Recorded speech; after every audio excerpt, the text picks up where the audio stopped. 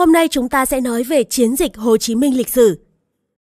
Sau chiến thắng Điện Biên Phủ trên không, ngày 27 tháng 1 năm 1973, Hiệp định Paris được ký kết.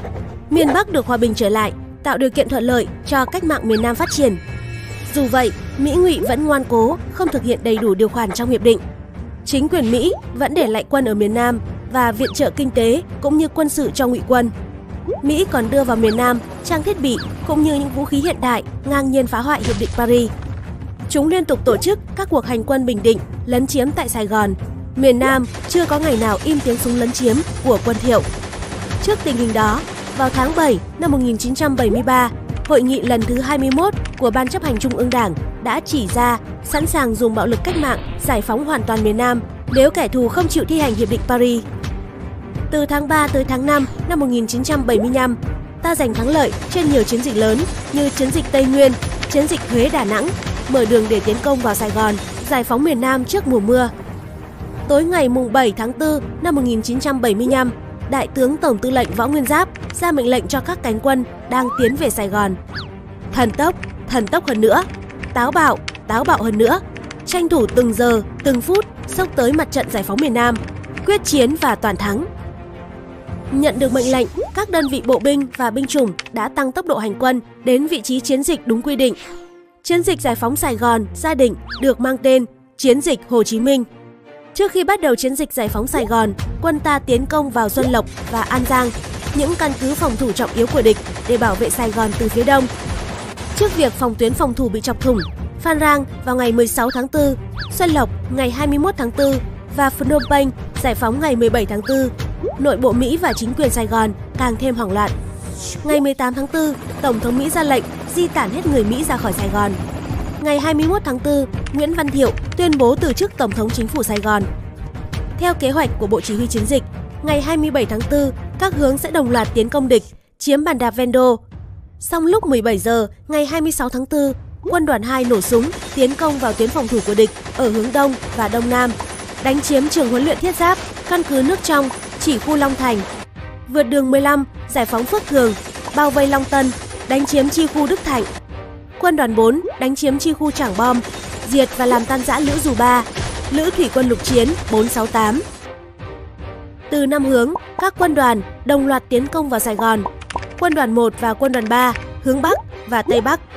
Quân đoàn 2 và quân đoàn 4 hướng Đông và Đông Nam.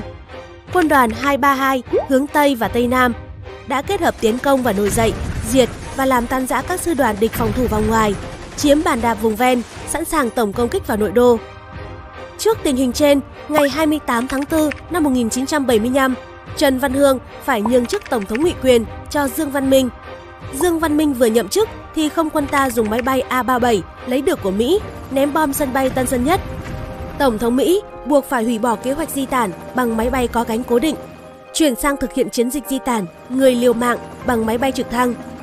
Sân bay Tân Sơn Nhất bị tê liệt hoàn toàn, một nửa số máy bay trên sân bị trúng đạn, quân ta ồ ạt tiến công.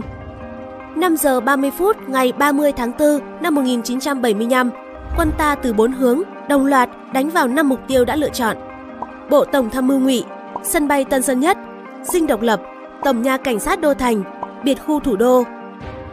Hướng tiến công từ phía Tây và Tây Nam là sư đoàn 9, đoàn 232 đánh chiếm khu nhà bè, cầu Nhị Thiên Đường, cầu chữ Y, Bộ Tư lệnh Cảnh sát Quốc gia, Bộ Tư lệnh Lục quân, chiến khu Tân Tạo và khu radar Phú Lâm. Sư đoàn 5 và các trung đoàn 16, 24, 88 độc lập đánh diệt, làm tan rã sư đoàn 22, giải phóng thị xã Tân An, chi khu Thủ Thừa chiếm cầu Bình Điền. Cùng với nhân dân giải phóng quận 5, 6, phối hợp với sư đoàn 9 chiếm Bộ Tư lệnh Cảnh sát Quốc gia bộ đội đặc công phối hợp với nhân dân đánh địch, giải phóng quận Tân Bình, quận Bình Chánh và đặc khu rừng xác. Hướng tiến công từ phía Tây Bắc, quân đoàn 3 sau khi đánh chiếm căn cứ Đồng Dù, Trảng Bàng, diệt sư đoàn 25 ngụy, tiến công chiếm sân bay Tân Sơn Nhất. Bộ Tư lệnh sư đoàn Nam không quân, Bộ Tư lệnh Thiết giáp, Bộ Tư lệnh quân dù và phối hợp với quân đoàn 1 ở cánh Bắc đánh chiếm Bộ Tổng tham mưu ngụy.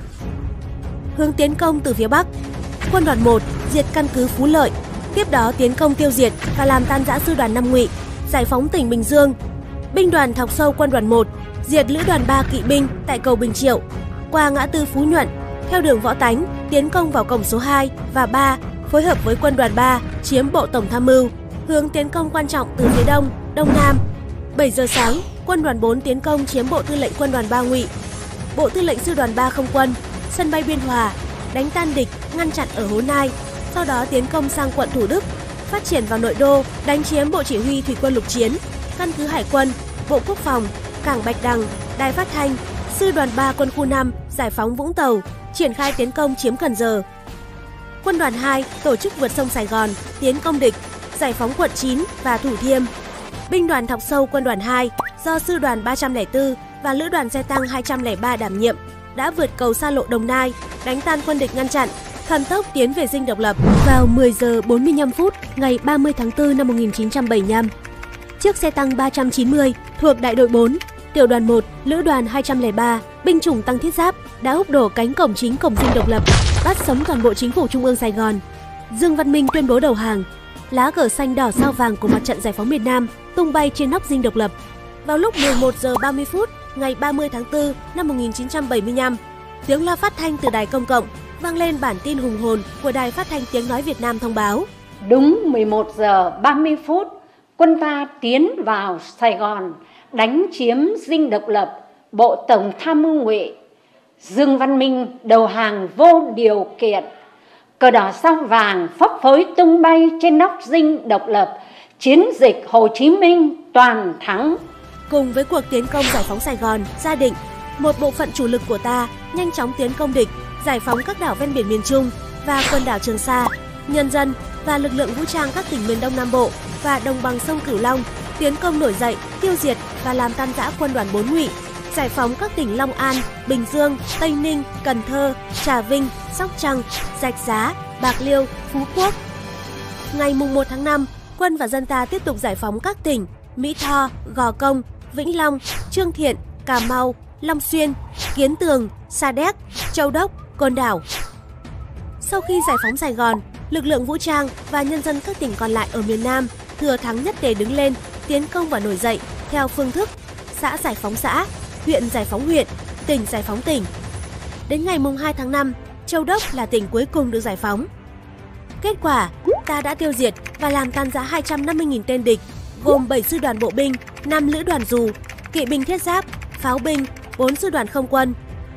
Thu 500 khẩu pháo, trên 400 xe tăng, xe bọc thép, 800 máy bay, 600 tàu chiến, 3.999 xe quân sự, 270.000 khẩu súng các loại, đập tan hệ thống chính quyền Sài Gòn từ trung ương tới cơ sở, giải phóng thành phố Sài Gòn, gia định và tiến tới giải phóng hoàn toàn miền Nam, thống nhất đất nước.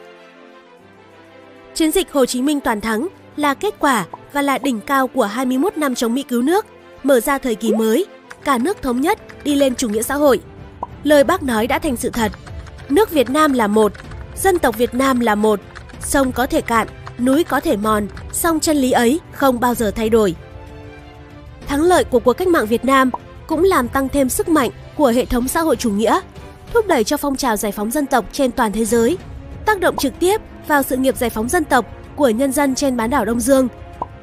Viết vào lịch sử nhân loại, một trong những chiến công thần kỳ của công cuộc đấu tranh chống lại áp bức bóc lột của nhân dân ta trong thế kỷ 20.